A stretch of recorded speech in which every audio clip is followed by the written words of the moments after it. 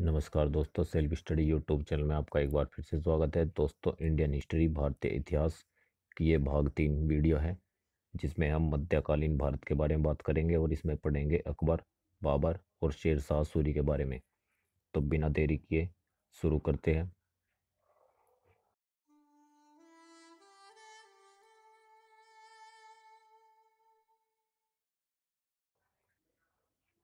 तो यह है भारतीय इतिहास का भाग तीन। जिसमें मध्यकालीन भारत। दोस्तों, मुगल 1526 से 1707 मुगल तुर्की में भारत आए थे और मुगल के संस्थापक बाबर थे। तैमूर वंश का पांचवा वंश था बाबर और चंगेज खान का चौदवा वंशज। मुस्लिम कहाँ कहाँ से आए थे, इनका क्रम भी देख लेते हैं। अरब से मोहम्मद बिन काशिम आए थे और तुर्की से से सभी और मंगोलिया से चंगेज खान, अफ़गानिस्तान से लोधी और सूरी, ईरान से नादिर शाह और अहमद साहब दाली। आगे देखते हैं, आगे आपका आता है बाबर। दोस्तों, बाबर का जो काल है 1526 से 1530 के बीच का है। बाबर का पूरा नाम भी पूछ लिया जाता है, जहीरुद्दीन मोहम्मद बाबर। बाबर का जन्म चौदह ईस्वी में तुर्की के फरगाना यानी कि फरगना में हुआ था। इसके पिता उमर शेख मीजी और माता कुतुब निगर बेग थी। चौदह सौ चौरानवे ईस्वी में ग्यारह वर्ष की उम्र में अपने पिता की मृत्यु के बाद बाबर फरगना का शासक बना। पंद्रह सौ चार ईस्वी में बाबर ने काबुल और कांधार को जीता। पंद्रह सौ सात ईस्वी में बाबर ने बादशाह की उपाधि प्राप्त की। 1518 ईस्वी में बाबर ने पहला आक्रमण किया पेशावर पर और उस समय पेशावर का शासक जो था वो जयपाल था और इस युद्ध में बाबर ने बहरागढ़ किले को जीत लिया था। आगे देखते हैं। बाबर ने पहली बार गोला बारूद का निर्माण किया था। ये भी आपको नोट कर लेना है। 1526 ईस्वी में पानीपत का प्रथम युद्ध बाबर और इब्राहिम लोदी के बीच हुआ, जिसमें बाबर जीत गया और इब्राहिम लोदी हार गया। लोदी वंश का अंतिम शासक और यही पहला ऐसा दिल्ली का शासक था जो किसी युद्ध में मारा गया था, जो कि इब्राहिम लोदी था।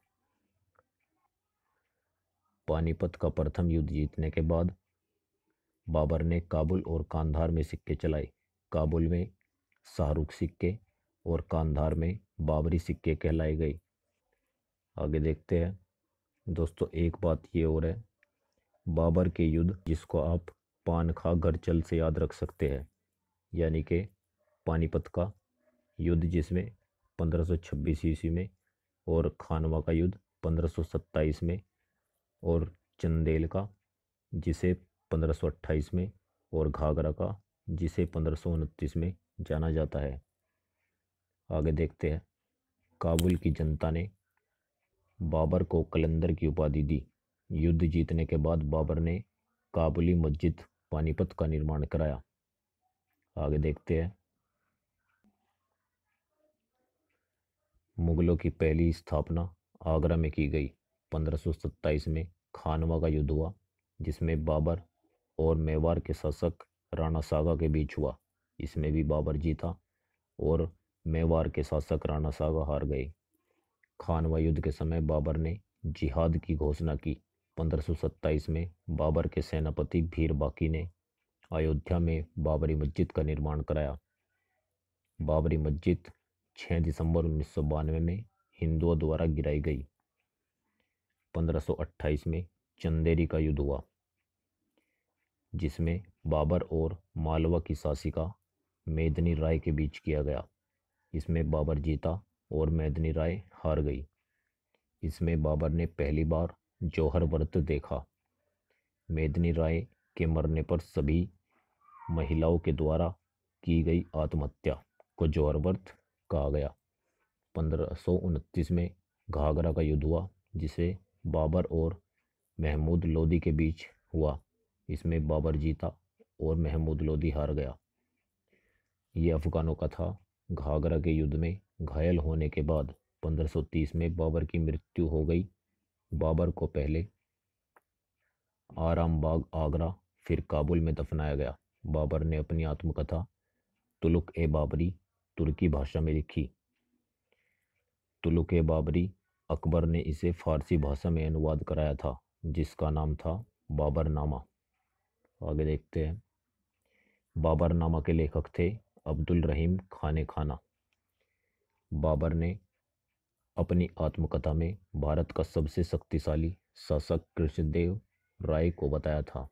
तो हुमायूं का जो काल है 1530 से 40 और 1555 से छप्पन तक के बीच का है। हुमायूं का पूरा नाम था नसरुद्दीन मोहम्मद हुमायूं। बाबर के चार पुत्र थे, जिसमें पहला था हुमायूं, दूसरा था कामरान और तीसरा अस्करी और चौथा था हिवाल। इनको, इनके क्षेत्र में बांटा गया था, जैसे हुमायूं दिल्ली और आगरा पर और कामरान काबुल और कांधार पर, अस्करी, ये संबल पर और हिवाल, अलवर पर। आगे देखते हैं। हुमायूं ने पहला आक्रमण 1531 में कलिंजर के राजा प्रताप रुद्र देव पर किया। 1532 में हुमायूं ने चुनारगढ़ के किले में हमला किया था। हुमायूं किले में अंदर नहीं जा पाया और छः माह बाद वापस चला गया। पंद्रह में दूसरा आक्रमण फिर शेर खान नहीं मिला। पंद्रह में चौसा का युद्ध हुआ। हुमायूं और शेर खान के बीच, जिसमें हुमायूं जीता और शेर खान हार गया। 1540 में कन्नौज का या बिलग्राम का युद्ध हुआ, जिसमें हुमायूं और शेर खान के बीच हुआ, जिसमें हुमायूं जीता और शेर खान फिर से हार गया। बिहार और बंगाल का जो शासक था, वो शेर खान था। चुन्नारगढ़ किले में रहता था। हुमायूं ने अपनी जान बचाने वाले को एक दिन का बादशाह बनाया। हुमायूं ने उसी के सम्मान में चमड़े के सिक्के चलवाए। 1541 में हुमायूं ने हमीदा बानो बेगम से विवाह किया। विवाह के बाद हुमायूं अपने मित्र बीरसाल अमरकोट का राजा था, जो कि उसकी शरण में चले गए। 1542 में यह आपको नोट करना है। अकबर का जन्म हुआ अमरकोट में। 1543 में हुमायूं अपने गुरु अंगद देव का आशीर्वाद लेने उनसे मिलने गए। 1545 ईस्वी में हुमायूं ने काबुल और कांधार गए और उसे जीत लिया। फिर अपना सेनापति बेरम खान को बनाया। पंद्रह ईस्वी में पेशावर जीता, पंद्रह सौ पचपन में लाहौर जीता और पंद्रह सौ पचपन ईस्वी में हुमायूं सिंह पंजाब पहुँचा और वहाँ सरहिंद का युद्ध हुआ, जहाँ पर हुमायूं जीता और सरहिंद हार गया। पंद्रह सौ छप्पन ईस्वी में हुमायूं अपने द्वारा बनाए गए पुस्तकालय की सीढ़ियों से गिरकर मर गया। ये ये पूछा जा सकता है कि पुस्तकालय की सीढ़ियों से गिरकर कौन मरा था? ध्यान रखना है हुमायूं। ये काफ़ी बार पूछा जा चुका है। हुमायूं को, हुमायूं के मकबरे दिल्ली में दफनाया गया। हुमायूं के मकबरे, हुमायूं की पत्नी हाजी बेगम ने बनवाया था और इसे पूरा किया अकबर ने यह भी ध्यान रखना है। हुमायूं की जो आत्मकथा है, हुमायूं नामा है, जिसके लेखक हुमायूं की बहन गुलबदन बेगम है। आगे देखते हैं। आगे आपका आ जाता है सूरवंश, जो कि 1540 से 1555 तक का था। इसमें शेर शाह सूरी 1540 से 45 तक रहे। इसका जन्म चार सौ बयासी में होशियारपुर, पंजाब में हुआ था। इसके बचपन का नाम फरीद था। इसके पिता जौनपुर के जमींदार हसन खान थे। फरीद ने अपनी प्रारंभिक शिक्षा जौनपुर में ही प्राप्त की थी। पूर्व का सिराज भी जौनपुर को कहा जाता है। प्रारंभिक शिक्षा के बाद फरीद बहार खान लोहानी का अंगरक्षक बन गया। ये जो बहार खान लोहानी है, इसने फरीद को शेर खान की उपाधि दी थी और अपना सेनापति बना लिया था। लोहानी की मृत्यु के बाद फरीद ने अपने फरीद ने उसकी पत्नी से विवाह कर बंगाल बिहार का शासक बन गया था। उसके बाद 1545 में कलिंजर अभियान पर उक्का हथियार से शेर शाह मर गया। उक्का हथियार के इस्तेमाल से इसकी मृत्यु हुई। शेरशाह सूरी का उत्तराधिकारी सिकंदर सूरी बना। भारत का पहला अफगान वंश जो था, वो सूरी वंश था। ये भी आपको ध्यान रखना है। इसके बाद एडमिनिस्ट्रेशन ऑफ़ शेरशाह। शेरशाह सूरी ने सूरी मार्ग का निर्माण कराया कलकत्ता से पेशावर तक। अब यह है जीटी रोड, यानी कि Grand Trunk Road, N H one and N H two है। एन एच वन जो है, दिल्ली से अमृतसर के बीच और एन एच टू दिल्ली से कोलकाता के बीच। आगे देखते हैं, भारत का जो सबसे लंबा हाईवे है, वो एन एच सेवन है, वाराणसी से कन्याकुमारी, जिसकी लंबाई तेईस सौ उनहत्तर किलोमीटर है, ये भी पूछ लिया जाता है। और जो सबसे छोटा हाईवे है, वो N H forty seven A है, जो कि वेलिंगटन आइलैंड से लेकर केरला तक है छः किलोमीटर इसकी लंबाई है। सत्रह सौ सराय का निर्माण सूरी मार्ग पर कराया। सिल्वर और कॉपर के सिक्के चलवाए, ये भी ध्यान रखना है। सिल्वर चांदी, जिसे रुपया कहा गया, और कॉपर तांबा, जिसे दाम कहा गया। आगे देखते हैं, शेर शाह का मंत्रालय, दीवाने वजारत, जिसे वित्त मंत्री कहा गया। दीवाने रसालत, जिसे राजस्व मंत्री कहा गया। दीवाने आरिज, जिसे विदेश मंत्री कहा गया। दीवाने ईसा, जिसे मुख्य न्यायाधीश कहा गया। आगे देखते हैं। आगे आता है आपका अकबर। दोस्तों, अकबर से काफ़ी प्रश्न पूछ लिए जाते हैं। ये आपको नोट कर लेना है। अकबर का कार्यकाल 1556 से 1605 तक का था। इनका पूरा नाम जलालुद्दीन मोहम्मद अकबर था। अकबर का जन्म 1542 में अमरकोट के राजा वीरसाल के महल में हुआ था। दिल्ली सल्तनत पर बैठने वाला एकमात्र हिंदू हेमो हेमचंद था, ये भी आपको ध्यान रखना है। अकबर का राज्याभिषेक 1556 में गुरुदासपुर के काला मोर में हुआ था। इसे अगला मुगल शासक घोषित किया गया। फिर पानीपत की दूसरी लड़ाई हुई, जिसमें 1556 में अकबर और हेमू के बीच में हुई, जिसमें अकबर, बेरम खान अकबर की तरफ़ से लड़ा और हेमू भारत का चौदवा विक्रमादित्य के रूप में लड़ा। इसके बाद ये प्रश्न बनता है, पहला विक्रमादित्य कौन था? चंद्रगुप्त द्वितीय और जो अंतिम था वो हेमू। 1556 से 1560 तक अकबर बेरम खान के संरक्षण में रहा। 1560 तिलवाड़ा का युद्ध अकबर और बेरम खान के बीच हुआ, जिसमें अकबर जीता और बेरम खान हार गया। इसके पुत्र अब्दुल रहीम खाने खाना अकबर के नौ रत्नों में शामिल किए गया। 1560 से बासठ तक अकबर ने अपनी दाई माँ महाम अंगा से सभी सलाह ली इस समय को पर्दा शासन या पेटिकोट शासक या शासन भी कहा गया।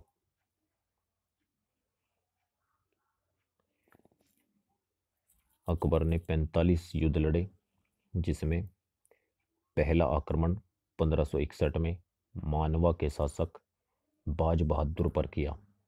अकबर ने 1564 में जजिया और तीर्थकर को समाप्त किया, जिसे जजिया कर ये टैक्स है, जिसे नॉन मुस्लिम देते थे, एक बटा दो से दो बटा तीन के रेशियो में, और मुस्लिम देते थे, जक़ात एक बटा चालीस के रेशियो में। ठीक है। अगला पॉइंट पंद्रह में अकबर ने हरखाबाई से विवाह किया, जो बारमल अमीर के राजा की पुत्री थी। अकबर की प्रसिद्ध जो अभियान है, ये गुजरात अभियान पंद्रह में, ये सबसे पहला अभियान है, जिसमें अकबर ने समुद्र देखा और पुर्तगालियों से मिला। आगे देखते हैं।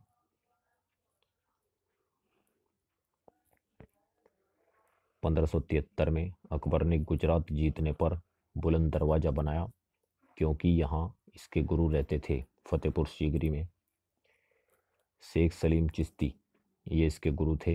इन्हीं की कुटिया में अकबर के पुत्र सलीम का जन्म हुआ पंद्रह में। फिर आता है पंद्रह इसमें हल्दी घाटी का युद्ध हुआ अकबर और महाराणा प्रताप के बीच।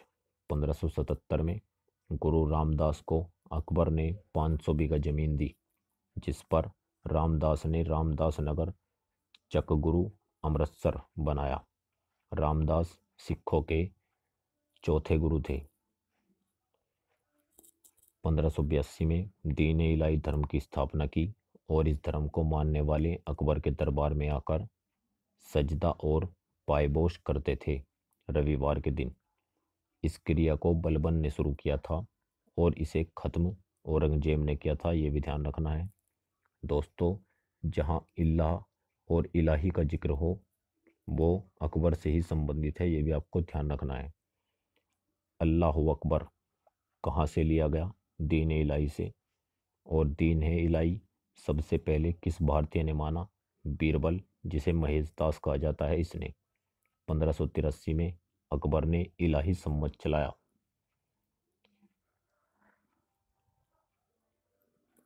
इलाही सम्मत में इलाही सिक्के चलाए गए। इलाही गज चलाया गया, जिसमें एक गज में इकतीस इंच होते थे।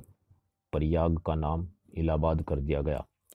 1605 में अतिसार रोग के कारण अकबर की मृत्यु हो गई। इसी रोग से बुद्ध की मृत्यु हुई थी। ये भी आपको ध्यान रखना है। इसी से जवाहरलाल नेहरू की मृत्यु भी हुई थी। अकबर को आगरा के सिकंदराबाद में दफनाया गया। अकबर की जीवनी आइन अकबरी, जिसके लेखक अबुल फजल थे। अबुल फजल को आइन अकबरी लिखने में सात वर्ष का समय लगा। आगे देखते हैं। दोस्तों, अकबर के नौ रत्न थे, जिसमें बीरबल, तानसेन, मानसिंह, टोडरमल, अबुल फजल, अब्दुल रहीम खाने खाना फेजी, मुल्ला दो प्याजा और फ़कीर अजीउद्दीन थे। दोस्तों, ये कुछ इम्पोर्टेंट पॉइंट्स हैं, जिनको आप ध्यान रखिएगा। सबसे पहले अपने दरबार में नवरत्न किसने रखे थे? ये चंद्रगुप्त द्वितीय ने रखे थे। और अष्टप्रधान, किसके नवरत्नों में से एक है? ये शिवाजी के हैं। और अष्ट दिग्गज कृष्णदेव राय के। और अष्टप्रधान, जहांगीर के। चंद्रगुप्त के नौ रत्नों में प्रमुख रत्न कौन थे? कालिदास, अमर सिंह और धनवंतरी। अमर सिंह इसने अमर कोश लिखी और धनवंतरी ये सबसे प्रमुख वेद थे। तो दोस्तों, आज के लिए इतना ही। बाकी हमारे चैनल सेल्फ स्टडी को ज़्यादा से ज़्यादा लाइक कीजिएगा, शेयर कीजिएगा और इसे सब्सक्राइब करना ना भूलें, जिससे कि हम आपको इसी तरह की नई वीडियो और कोई भी नई जानकारी तुरंत प्राप्त करा सके। धन्यवाद।